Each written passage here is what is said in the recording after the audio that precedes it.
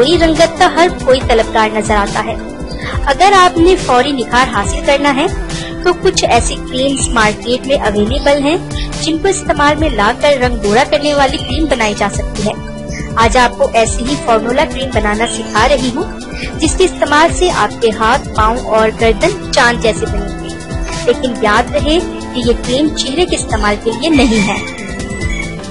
इससे पहले कि मैं आपको आज की इस फॉर्मूला क्रीम के इंग्रेडिएंट्स के बारे में बताऊँ, आप मेरा चैनल सब्सक्राइब कर लें। पीछे लगे रेड सब्सक्राइब बटन को दबा दें और इसके साथ लगे बेल आइकन को ज़रूर प्रेस करें ताकि आपको मेरी डेली न्यू वीडियोस सबसे पहले मिल सके। और आज की हमारी फॉर्मूला क्रीम के अच्छा है गोल्डन पर्ल एक पैक और क्लोव पेट क्रीम एक पैक फॉर्मूला क्रीम बनाने का तरीका ये है कि एक प्लास्टिक की प्याली में इन दोनों क्रीम्स को निकाल लें। और एक प्लास्टिक के स्पून से अच्छी तरह मिक्स कर लें और गोल्डन पर्ल की ही शीशी में महफूज करके फ्रिज में रख रोज़ाना रात को सोने से पहले अपने हाथों, पाँव और गर्दन पर लगा लें।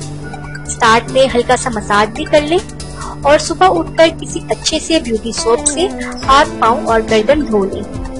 गोल्डन पर्ल के बारे में आपको बताती हूँ कि ये रंगत निखारने के लिए बहुत ही ज़बरदस्त किस्म की क्रीम है।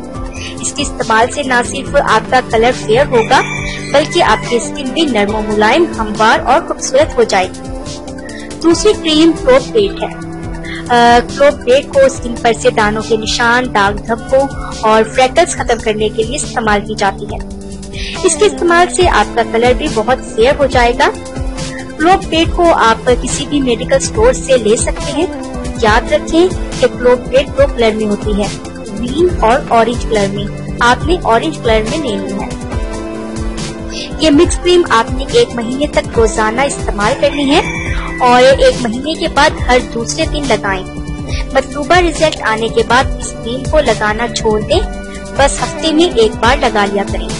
सो गाइज़ अगर आपको मेरी आज की वीडियो पसंद आई हो तो इसको लाइक और अपने तमाम फ्रेंड्स के साथ शेयर ज़रूर कीजिएगा। प्लीज़ मेरा चैनल सब्सक्राइब करना ना भूलिएगा। नेक्स्ट वीडियो तक के लिए मुझे इजाज़त दीजिए। इतनी मेहनत से वीडियो बनाई है, एक लाइक तो बनता है ना। और दूसरा ये कि आप हमें इतनी बड़ी दुनिया में दोबारा कैसे ढूंढेंगे? तो इसका हल ये है कि आप हमारे चैनल को सब्सक्राइब कर लीजिए और इस बेल के आइकन को क्लिक कर दीजिए। इस तरह हमारे आने वाली